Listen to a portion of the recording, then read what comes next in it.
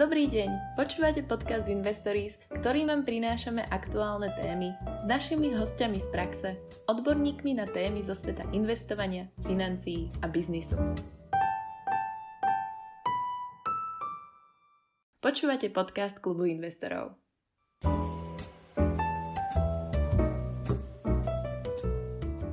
Rok 2020 bol poznačený pandémiou, ktorá pretrváva doteraz. Celosvetovo sa znížila výroba, spotreba, poklesol cestovný ruch a zvýšila sa zadlženosť všetkých štátov sveta v dôsledku neplánovaných výdavkov aj na boj s pandémiou. Napriek tomu, akciové trhy utrpeli prepad iba v marci 2020, ale rýchlo sa z toho pozbierali a neustále ďalej rastú. To isté platí aj pre trh s nehnuteľnosťami a infláciu. Mnohými ekonómami očakávaná ďalšia veľká hospodárska kríza minimálne doteraz nenastala. Ako bude vývoj finančných trhov ďalej pokračovať? Zatiaľ nevieme, kedy, ale veríme, že vďaka očkovaniu sa svet z pandémie v najbližších mesiacoch až jednom roku zotaví. Ako na tom bude ekonomika po covide? Ktoré aktíva sú v aktuálnej situácii najbezpečnejšie alebo najvhodnejšie? Sú to nehnuteľnosti, akcie, indexy, komodity alebo kryptomeny? Do tejto epizódy podcastu Investories na tému ekonomika a aktíva po covide sme si pozvali skúseného ekonóma Dominika Stroukala. Pán Stroukal je hlavný ekonóm platobnej inštitúcie Roger, vyučuje na vysokej škole Cevro Inštitút, uvádza reláciu Kto to platí, je autorom niekoľkých kníh, šéf-redaktor časopisu a taktiež ekonomický poradca. Moje meno je Zuzana Repková a budem vás prevádzať touto epizódou. Prajem príjemné počúvanie. V mene klubu investorov by si vás rada medzi nami privítala pán Stroukal. Dobrý den a díky za pozvání. Mohli byste se prosím představit našim posluchačům v krátkosti? A tak vy jste všechno řekla, takže já bych jenom doplnil, já jsem teďka přemýšlel, co bych dokázal doplnit a, a poslouchám metal a nesnídám. To jsou důležité informace. to je naozaj veľmi zaujímavé, takéto predstavenie sme tu ešte nemali. Uh, prešla by som už na tie ekonomické témy. Keď sa obhliadneme za posledným rokom, čo nás táto pandémia naučila z ekonomického hlediska? A celou řadu věcí. Teďka Každý z nás si musel vyzkoušet spoustu věcí, které jsme do té doby neznali. Musel sledovat čísla, které do té doby jsme se učili možná tak na ekonomických fakultách. Každý z nás se koukal na ukazatele typu dluhku HDP. Vlastně o tom se jako vědělo, ale já nevím, jak na Slovensku, ale v Čechách jsme to moc neřešili. Měli jsme ho relativně nízký oproti ostatním okolním zemím a ostatně i vůči celému světu. Takže jsme to neřešili a najednou prostě boom a řešili jsme prostě jako dluh kdo to zaplatí. Najednou jsme koukali na věci typu nezaměstnanost, jakým způsobem se měří nezaměstnanost, když přijde covid, ale ona o tolik zas moc nevyrostla. Takže jako dívali jsme se na tyhle ty ukazatele a začali jsme se trošku rozpitvávat. Sledovali jsme, jak funguje stát, kudy tečou peníze, co je potřeba kde schválit. Jako, a troufám si říct, že ta pandemie a já neradku hledám na něčem špatném něco dobrýho, to je taková znouzecnost, ale kdyby jsem byl k tomu nucený něco najít, tak tady to byla taková hezká učebnice, kterou jsme si všichni museli projít. Spomínali ste veľa, že to ovplyvnilo štáty. Myslíte si, že krajiny sa mohli do určitej miery pripraviť na takúto situáciu, alebo bola niektorá krajina lepšie pripravená než iné?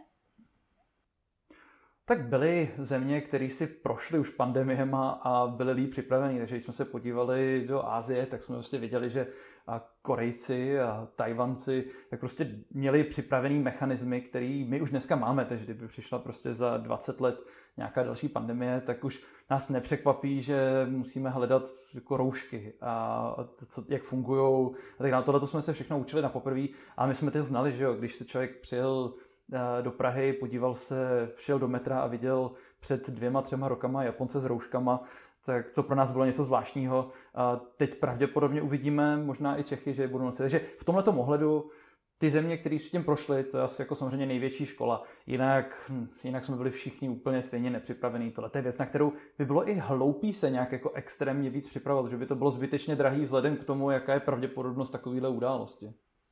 Tak ako sme sa naučili nosiť rúška aj teda nie v Ázii, ale aj v Európe, tak tiež stúpala zadlženosť štátov. Budú mať krajiny problém so splatením svojich dlhov v prípade rastu úrokových sadzieb, alebo tento dlh sa už nikdy nesplatí možno?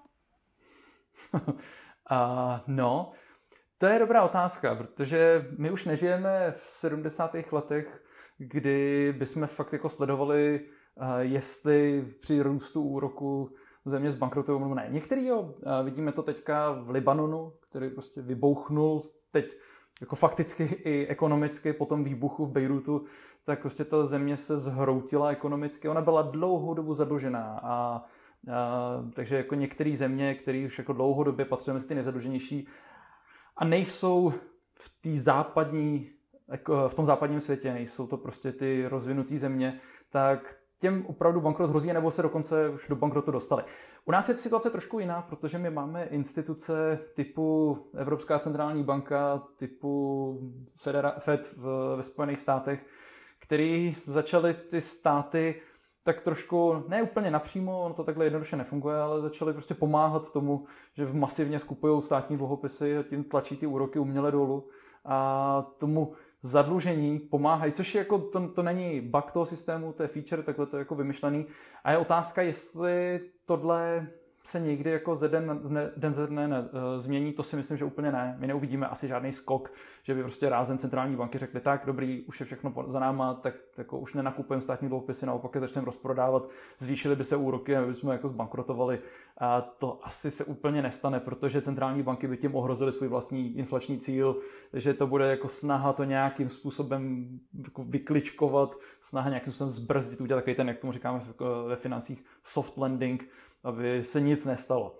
Jestli, to je otázka. Vždycky samozřejmě může přijít nějaká jako další černá labuť a, a může se to stát, ale nemyslím si to. Rozhodně bych nikde nestrašil nějakým státníma bankrotama teďka.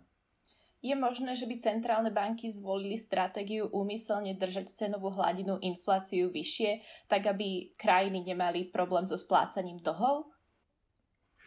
Ono je důležitý, že uh, jako my v ekonomii a, a klub investorů a lidi, kteří si zajímají o finance, my to víme, ale uh, centrální banky standardně nemají za cíl uh, krotit inflaci dnešní, ale nějakou střednědobou. Typicky za rok a půl na nějakém horizontu té měnové politiky očekávají, že bude dvouprocentní. Někdy se to lehce mění, Evropská centrální banka si ten cíl trošku pozměnila na méně než 2%, ale blízko 2%, teď ho změnila zpátky na 2%, trošku se s tím hraje a to jsou malé niance. Představa, že by se na tom horizontu, jako v tom střednědobě měnil ten inflační cíl, to si myslím, že ještě není úplně na pořadu dne. To by si museli ty centrální banky obhájit teoreticky, zatím je jako spousta let teorie, výzkumů, a to číslo samotné osobně na něm tohle nezáleží, ale záleží spíš na tom, že to má prostě nějakou konzistenci dlouhodobou. Jakmile by do toho začali vrtat, tak by ztratili určitou důvěryhodnost, která je pro ně strašně důležitá pro to, aby mohli provádět tu měnovou politiku a dosahovat svých vlastních cílů. Takže si to nemyslím. To, že to teďka krátkodobě pouštějí, to je pořád ještě důsledek toho, že věří, že v tom středně dobém horizontu se fakt jako na ty 2% dostaneme. Centrálne banky dokážu eh, ovplyvňovať ekonomiku s rôznymi spôsobmi. Prešla by som niečomu, o čom často teraz počujeme v médiách a to je zadržiavaná spotreba na strane domácnosti, ktorá čaká na to, kým sa svet otvorí. Vnímate to tak aj vy? Je to na Slovensku alebo v Česku, že viac úspor ako pred covidom? Je, tak my ty čísla máme, ty jsou docela hezky měřitelný. A i když ne úplně všechny, samozřejmě lidi si pořád zašívají nějaký peníze do, do, do madrace, dneska jako si ani nemusí dát na spořící účet, ale my tušíme, který ty peníze prostě se utrácejí a který ne. A ta, ty úspory vzrostly.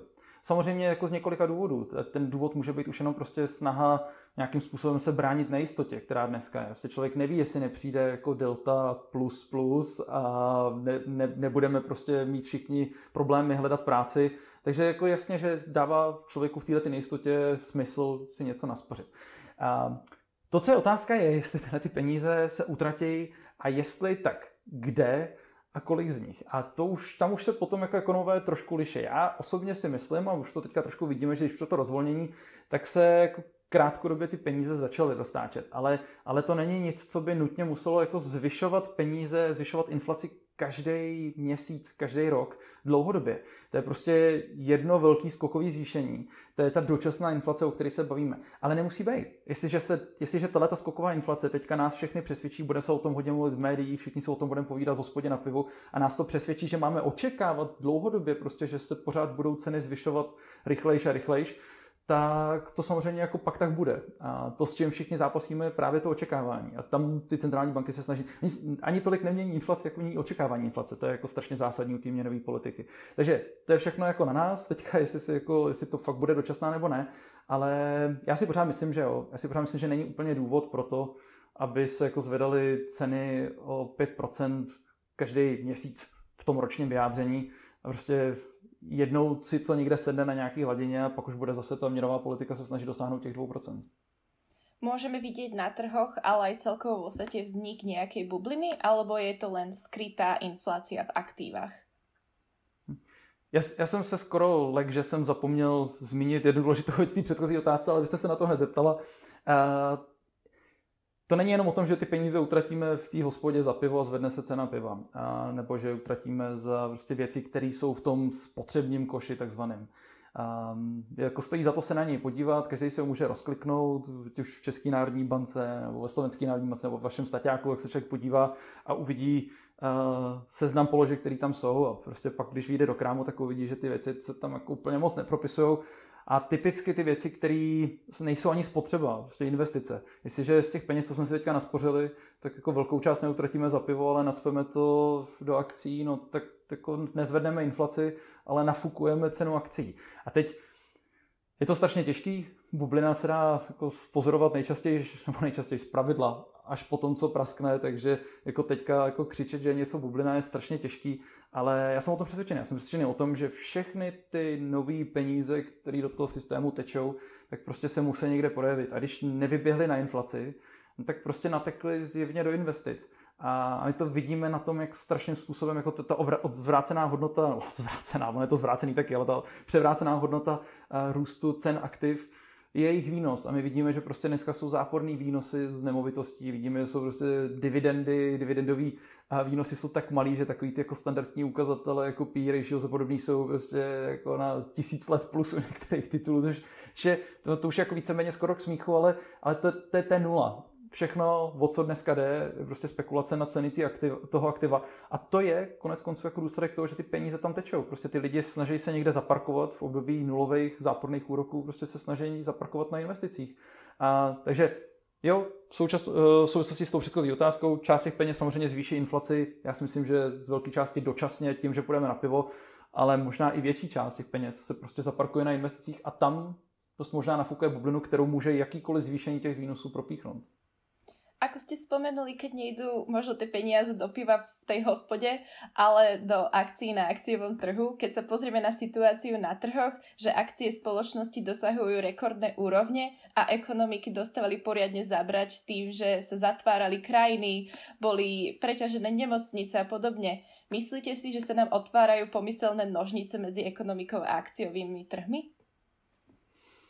A to už je nějaký pátek. Teď se to akorát jako v plný, uh, v plný kráse zobrazuje, protože je to, je to ten, ten, ten šok, když prostě člověk se podívá do televize a vidí pod sebou ty dvě zprávy, to je takový ten známý obrázek, co byl v CNBC uh, loni v březnu nebo v dubnu, bych, myslím, že v březnu, že jo, na začátku té pandemie, když přišly první lockdowny, tak ten Jim Cramer tam měl pod sebou napsáno rekordní nezaměstnanost, prostě v životě v Americe nevyběhlo tolik prostě uh, nezaměstnaných jako teď, to jsou ty grafy, kde vyskočila ta hokejka.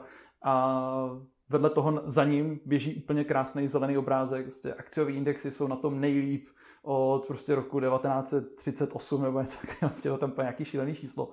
A tenhle ten jako tenhle ten paradox samozřejmě není úplně paradox, když člověk jako ví, jak dneska prostě fungují fungují ty investiční peníze.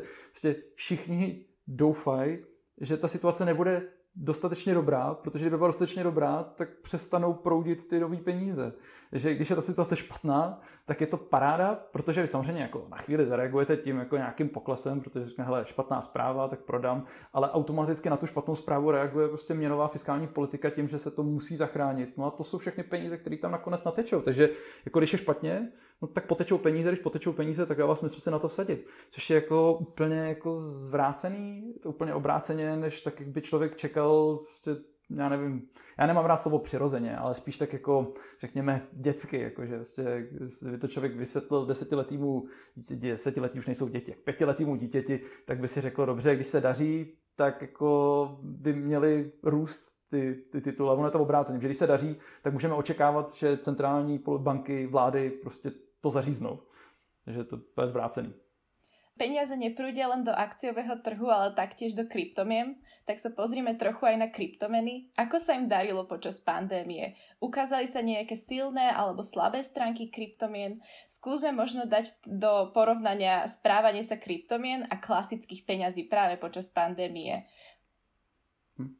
No to je zajímavá otázka, protože já jsem z takových těch starých pankáčů, který mají rádi krypto, protože je to podivný, anarchistický, protisystémový a to se mi na tom líbí právě ten kontrast proti těm jako současným penězům, ale a, já bych řekl i bohužel, on je to přirozený, prostě já nikomu bych v tom samozřejmě nebránil, se z toho stala spíš nějaká jako investiční věc, než, a, než prostě nějaký substitut peněz, tak je to najednou spíš takový jako komplement peněz těch současných a stalo se z toho prostě normálně standardní aktivum. A když se podíváte na nějaký korelace s akciovým trhem, tak jsou jako obrovský, já nevím, 0,7 nebo něco takového, že jako ten trh běhá z kryptoměn nahoru dolů s akciemi, akorát v procentech víc, protože je menší, takže jako každý milion, co tam nateče, tak udělá na procentech nahoru dolů prostě větší parádu nebo neplechu. Ale uh, jinak, jinak jsme viděli, že se to chovalo úplně stejně. Na začátku přišla pandemie, přišel první lockdown, investoři vytáhli peníze ze všeho prostě možného, od zlata, od akcí, prostě přes kryptoměny, tak to vytáhli ven, ceny padly, ceny aktiv padly a teď prostě se rozlíželi no, a začali to sypat, prostě když zjistili, že ty centrální banky tomu začnou, začnou pomáhat a vlády začnou pomáhat, tak sadili na to, že to půjde nahoru a na všech těch trzích to bylo stejné. U, krypt, u kryptoměn to bylo nejvíc, v zásadě kvůli tomu, že tam pořád je kolem toho nějaký hype. Uh, já mám krypto rád, jo, to, to nechci, to říkám spíš uh, ten, uh, tu možná jako tu, tu, tu špatnou stránku věci, že prostě byl tam kolem toho samozřejmě obrovský hype, kdy prostě všichni čekali, že tak teď a budu bohatý, což tomu asi patří, ale, ale u toho krypta je to speciální.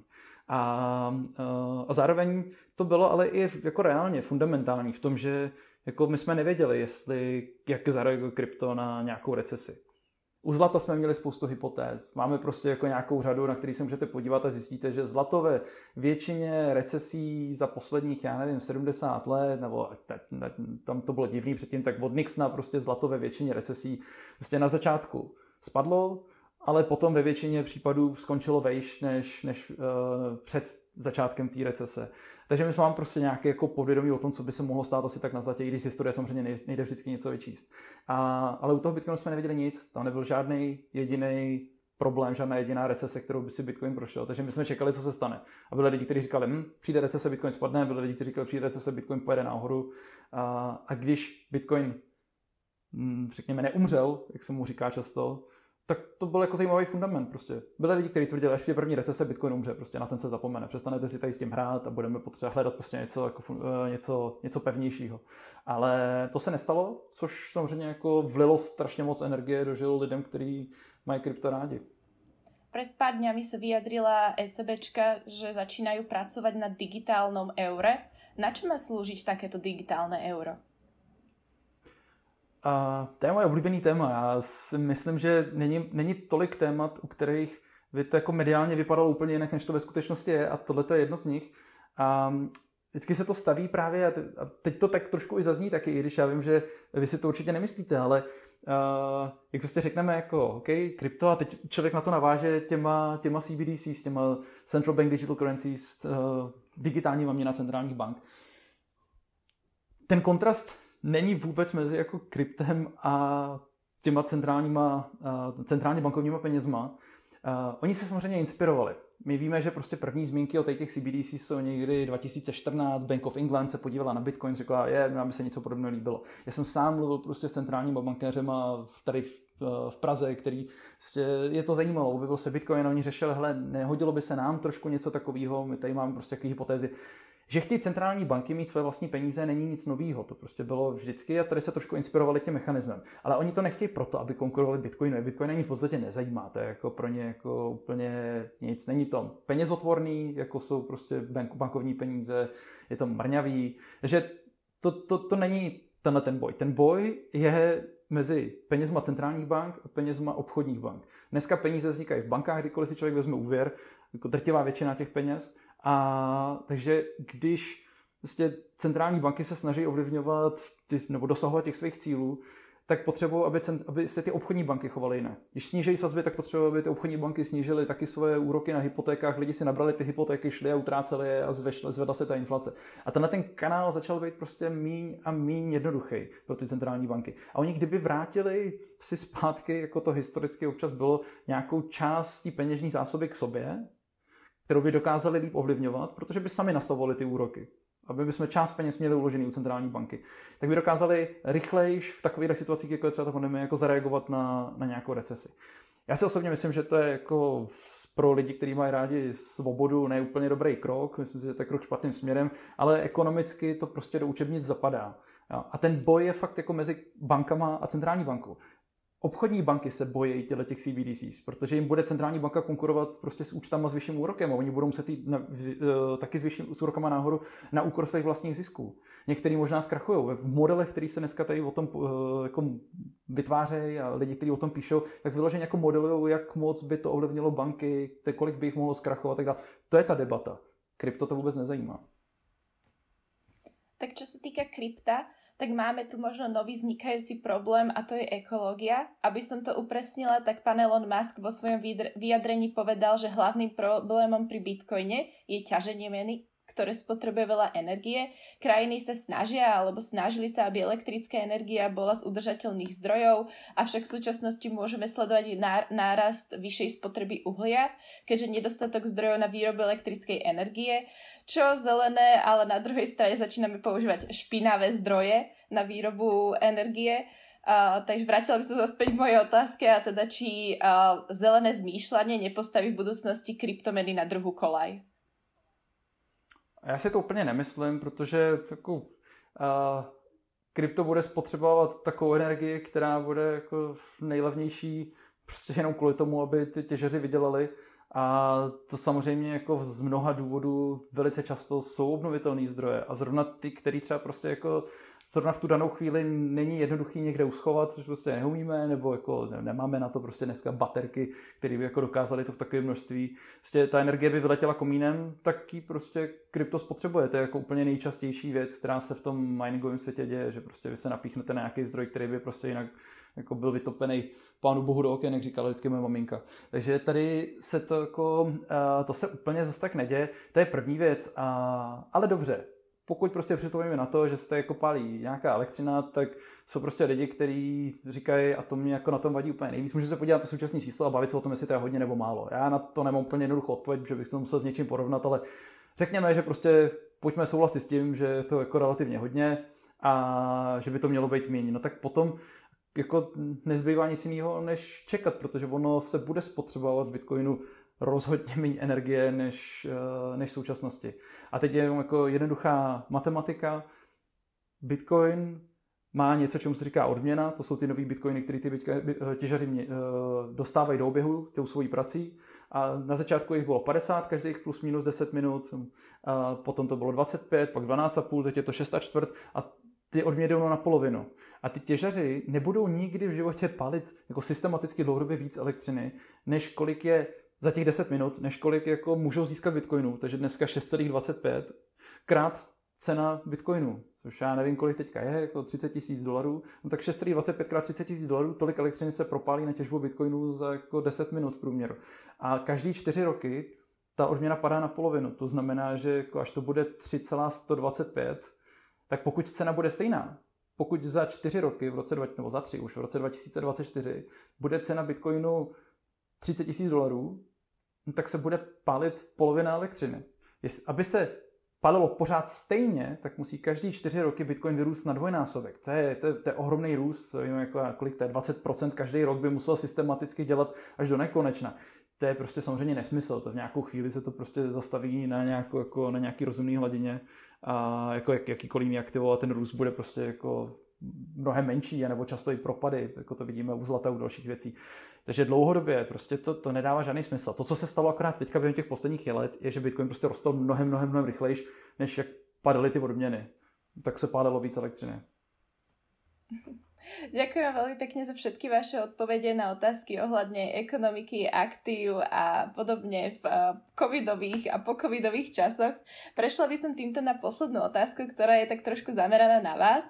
Eh, je o vás známe, že máte v ruke impl- implantovaný čip, na ktorom máte kryptopeňaženku. A viete nám povedať, ako to funguje a nepozerajú na vás ľudia v obchode ako na nejakého čarodejníka, keď zaplatíte len rukou? A ty, ty, když řeknete, že to je o mě známý, tak se budu bát přijet do Bratislavy. To zase tak známý není, ale uh, já mám tady, tady mám asi jako, kolik teďka, pět, šest, pět let, pět let, uh, čip, který je v zásadě úplně jednoduchý. Já si jako nemyslím, že to je nějaká jako velká raketová věda, to jestli si máte psa, tak to je stejný čip, co má váš pes, akorát prostě normálně neplatíme psem, ta ruka je k tomu taková jako užitečnější. Ale co, co, co tady je, je v zásadě jenom privátní klíč bitcoinový peněz, jako bitcoinový adrese, což se normálně v krámě použít nedá. A v Praze je snad jako jedno místo, kde normálně se tím dá zajít na pivo, takže to není úplně zase tak častý, je to spíš taková jako snaha si podívat na to, co to umí, co to neumí. Já tam teďka ani nemám bitcoinovou peněženku, já tam mám nahranou teďka vizitku, takže když si člověk přiloží telefon k ruce, tak mu to tady hodí jako telefon a všechno do telefonu. A teďka mám okolností jako druhý, on tam ještě jízvu trošku. A to mi přijde trošku zajímavější, protože teďka konečně, to mám jako dva týdny, a teď to teprve testuju, tak eh, konečně někdo přišel se způsobem, jak tam nahrát normálně standardní platební kartu, takže teď už můžu platit fakt jako úplně kdekoliv a taky to mám jako propojený různě jako podivně, že člověk by mohl zaplatit čímkoliv, ale ve výsledku je to prostě platební karta, takže člověk přijde k platebnímu terminálu a zaplatí rukou. Ale takhle, v době, kdy to samý můžete mít v, hodinku, v hodinkách nebo v prstínku, tak jako není úplně důvod si to dávat pod kůži. To je spíš takový, proč to nevyzkoušet, když to jde. A je to takový, jak bych to řekl, o pocitu. Je to asi jako, já jsem vždycky přirovnával k tomu, když se člověk nechá potetovat, jako taky si může na sebe vzít oblečení, na kterém je to nakreslený, ale ten pocit je prostě jiný, když to najednou jako se spojí člověk s nějakým obrazem a má ho na těle, nebo když má prostě v těle nějakou technologii, tak ten pocit je jiný, než to máte na hodinkách a ty si můžete kdykoliv sundat, ale v zásadě je to jenom o tom, není to žádná převratná technologie. Tak už dnes tam nemáte teda len kryptopeňaženku, ale najnovšie už dva týždňa aj platobnú kartu. Týmto by som dnešnú epizódu ukončila. V mene klubu investorov vám ďakujem, pán Stroukal, že ste prijali pozvanie do nášho podcastu Investories. Dúfame, že vám tento rozhovor spríjemnil deň a tešíme sa na prípade ďalšiu epizódu s vami v budúcnosti. Díky moc, mě určitě zpříjemnil den, tak doufám, že zpříjemní i divákům a posluchačům. Ďakujeme za počúvanie nášho podcastu. Veríme, že sa vám dnešná epizóda páčila a zostaňte s nami v spojení na našich sociálnych sieťach Facebook, Instagram, LinkedIn a YouTube, kde vás informujeme o našich ďalších epizódach a ostatných formách vzdelávania klubu investorov. Prajeme pekný deň.